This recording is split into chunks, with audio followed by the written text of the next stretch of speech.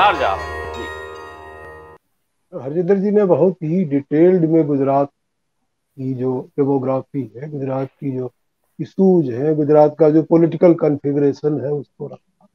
और निश्चित तौर पे बहुत ही विस्तृत जानकारी उन्होंने दी। एक संशोधन में छोटा सा करना चाहता हूँ वो मुकेश भरद्वाज बोल गए। वो मुकेश अग्निहोत्री हैं जो Oh, मुकेश भरद्वाज तो हाँ, अभी एक अखबार के संपादक है। हाँ, हाँ, yes. अग्निहोत्री जी विपक्ष के नेता है वहाँ पर जो है। हाँ हाँ। और वो भी हम लोगों के पत्रकारीय सहयोगी रहे हैं। तो अब वो निश्चित तौर पे जो बहस के जो इशूज हैं और जिस तरह से उसकी थ्योरी एक इमर्ज कर रही कि भाई एक तो मामला ये है कि कांग्रेस पार्टी आ, चुनाव प्रचार ही नहीं करती और इसलिए चुनाव हार जाती है। तो बहस आपकी इसी से शुरू हुई है। और उसमें यही है कि वो, वो उन विद्यार्थियों की तरह है जो इम्तहान के दिन ही तैयारी करते हैं, साल भर वो मटर गश्ती करते हैं और उसके बाद तो वो पास हो तो कैसे पास? तो ये एक चीज़ बताई जाती है। और निश्चित तौर पे जो है वो, और भारतीय जनता पार्टी ने जो चुनाव प्रणाली, चुनाव लड़ने की, जो पूरी एक तरह से नॉर्म सेट किया है, चुनाव लड़ने की जो पद्धति सेट की है, वो पिछले सभी स्थितियों से अलग है। हालाँकि मैं ये नहीं कहूँगा, क्योंकि इंदिरा गांधी ने भी चुनाव के जो खर्च बढ़ाने का जो कार्यक्रम था, वो इंदिरा गांधी ने शुरू किया था और काफ़ी महँगा कर दिया था चुनाव इंदिरा गांधी ने। लेकिन अभी तो उसकी कोई सीमा नहीं है। जो आसमान और गर्द की बात कर रहे हैं सतीश जी, वो अब भाजपा और विपक्षी दलों के बीच में निश्चित तौर पे है। जो आप चुनाव का जो खर्च है, उसकी आपने जो भी मानक सीमाएँ हैं चुनाव आयोग द्वारा, उसकी सबको तोड़ करके आप पता नहीं क्या कर रहे हैं। दूसरी चीज़ ये है कि जो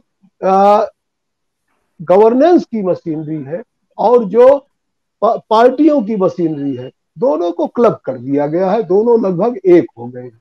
ये जो फ़र्क थोड़ा शर्मा शर्मी होता था, जिस आधार पे याद कीजिए कि इंदिरा गांधी का चुनाव रद्द हुआ था, अगर वो नॉर्म आज अपनाया जाए, इलाहाबाद हाई कोर्ट ने जो अपनाया था तो मुझे लगता है कि भारतीय जनता पार्टी के बहुत कम नेता बचेंगे जिनका चुनाव रद्द ये एक बहुत ही अजीब स्थिति बन गई है सरकारी संसाधनों का दुरुपयोग जो है वो गवर्नेंस का दुरुपयोग और चुनाव तारीखों का उस तरह से ऐलान और अब कहा जा रहा है कि भाई गुजरात में जो है वो मामला इसलिए नहीं किया गया कि एक तो हिमाचल में जल्दी कर दिया गया, मौसम का मामला है और बर्फ़ पड़ने लगेगी तो पहाड़ियों पर जो है वोट डालना मुश्किल हो जाएगा। दूसरी चीज़ ये है कि ये प्रायर प्रेसिडेंट भी रहा है कि कोई ऐसी बात नहीं है, दो राज्यों के साथ आसपास चुनाव होने जा रहे हैं तो उनमें अंतर कर दिया जाए। चालीस दिनों का अंतर है विधानसभाओं के कार्यकाल के समाप्त होने का। तो उन सारी चीज़ों को एक तरह से वो लॉजिक दिया गया है जो मुख्य चुनाव आयुक्त है श्री कुमार जी। वो सब सारी बातें आई हैं। लेकिन वो वास्तव में वो बातें निष्पक्ष है न्यूट्रल है, या वो चीज़ें जो है वो कहीं ना कहीं किसी को फेवर करने के लिए ये सचमुच ऑब्जर्वेशन का, ये सचमुच अन्वेषण का, जाँच का विषय है। लेकिन क्या हम ये मान लें कि जो नॉर्म बीजेपी ने सेट किए हैं, अब सभी को उसी तरह का नॉर्म अपना लेना चाहिए चुनाव जीतने का और बिना उसको अपनाए चुनाव नहीं जीता जा सकता। अगर हम उसी तरह के साधनों के उपयोग, दुरुपयोग के मार्ग पे चलते रहेंगे तो क्या हम जो है वो इस लोकतंत्र में कोई मर्यादा, कोई मूल्य, कोई चीज़ें स्थापित कर पाएँगे? हम पूरी जो है गवर्नेंस मशीनरी को, पूरी जो है वो डिलीवरी की मशीनरी को, हम सबको एक जो भी रूलिंग पार्टी है उसके फेवर में होने वाला एक डिलीवरी मशीनरी के रूप में कन्वर्ट नहीं करते जा रहे। ये एक बड़ा सवाल है।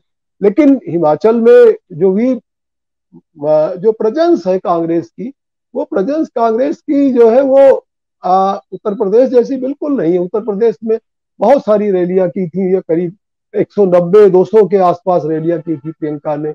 और प्रियंका ने जो है वो रोड शो भी सबसे पचास के आसपास किए थे। तो उसमें भीड़ भी जुटी थी और सोलन में भी भीड़ जुटी है। भीड़ कोई क्राइटेरिया तो नहीं होता, लेकिन जहाँ आपके पार्टी का आधार होता है, जहाँ कार्यकर्ता होते हैं, वहाँ पर भीड़ एक क्राइटेरिया बन जाता है। वहाँ पे भीड़ से कार्यकर्ता मैसेज लेके स्ट्रेंथ लेके उसको वोट में कन्वर्ट कर सकते हैं। तो निश्चित तौर पे जो है वो एक चीज़ जो बन रही है कि एक तो एक मिडिल क्लास और दूसरी बात जो प्रियंका गांधी ने कही है, उस पर भी हमें गौर करना चाहिए। एक तो पेंशन स्कीमों की बात उन्होंने की है। दूसरी तरफ़ एक लाख युवाओं को नौकरी देने की बात की। एक तरफ़ ओल्ड सेक्शन को जो जो बुज़ुर्ग लोग हैं, उनको साध रही है कांग्रेस, एक तरफ़ युवा वर्ग को साध रही है। अब उसके पास तो ऐसा नहीं है कि क्यों वंदे भारत ट्रेन तुरंत चला दे, कोई और काम कर दे, वो सरकार में नहीं है। तो वो चीज़ें तो तब बदलेंगी जब सेंटर में कांग्रेस की गवर्नमेंट आए, जिसकी संभावना बहुत प्रबल संभावना तत्काल तो नहीं दिखती या जो भी स्थितियाँ बने तो वो उनके हाथ में वो उपकरण नहीं। है तो दो रास्ते हैं, मुझे लगता है कि या तो सभी पार्टियाँ उसी तरह से जो है वो बिहेव करें, जिस तरह से रूलिंग पार्टी बिहेव कर रही है, और या उनकी अपनी दूसरी रणनीति हो। तो वो रणनीति निश्चित तौर पे संघर्ष की है। संघर्ष और रचना, और जो है जिसको कि डॉक्टर लोहिया कहते थे कि वोट फावड़ा और जेल। आ, मतलब जो है वो जेल संघर्ष का प्रतीक है हावड़ा रचना का प्रतीक है और वोट जो है चुनावी राजनीति में हस्तक्षेप का प्रतीक है।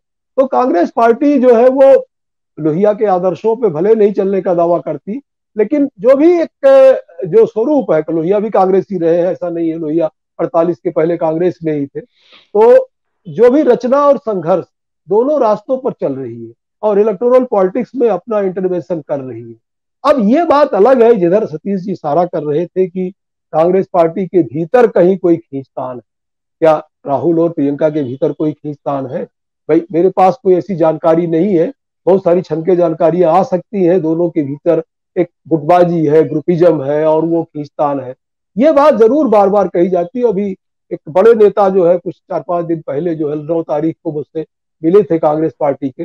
तो मैंने उनको रोक के कहा अमरीश जी आपके भी मित्र हैं वो कई राज्यों के प्रभारी हैं उड़ीसा के हैं तो संजोग से मैंने उनको रोक करके कहा कि मैंने कहा ये बताइए कि कांग्रेस के जो दो बड़े स्टार कैंपेनर हैं जो इम्पोर्टेंट लीडर्स हैं उनके साथ आपने जो है वो जेएनयू से निकले हुए मार्क्सवादियों को क्यों लगा रखा? और वो वो दिक्कत आपने क्यों पैदा कर रखी है कि वो राहुल गांधी से पार्लियामेंट में भाषण दिला देते हैं कि भारत एक राष्ट्र नहीं है?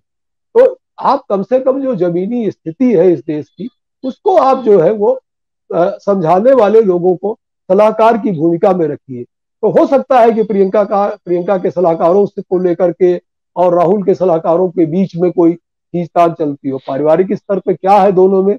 मेरे पास थोड़ा बहुत ऐसा फीडबैक कोई कह देता, मेरे पास कोई विश्वास करने का कारण नहीं है, कोई प्रमाण नहीं है। लेकिन दोनों के बीच में तो सतीश जी, हो सकता है उधर इशारा कर रहे हो, क्या चीज़ें हैं? लेकिन फ़िलहाल कांग्रेस जो है वो संघर्ष और चुनाव और रचना तीनों कामों में लगती हुई दिखाई पड़ रही है। और मैं तो जो है वो एक तरह से आ, जो भी परिणाम है मैं उस परिणाम की चिंता नहीं करता उतना जितना प्रयत्न की चिंता करता हूँ। तो परिणाम और प्रयत्न में मैं प्रयत्न और प्रयत्न करती हुई पार्टी दिख रही है। हरजिंदर जी ने भी बताया कि पहले भी जो है वो वहाँ पर कैंपेन हुआ है और अभी भी रैली हुई है और सिलसिला शुरू हो गया है। तो कुछ न कुछ तो जो है इसकी तारीफ़ मुझे करनी जी। आ...